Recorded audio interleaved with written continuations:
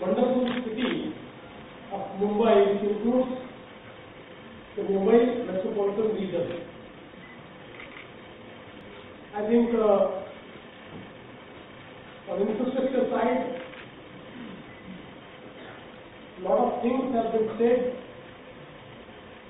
and what really we are doing has been showcased. In fact, uh, when Mr. Mehta was speaking,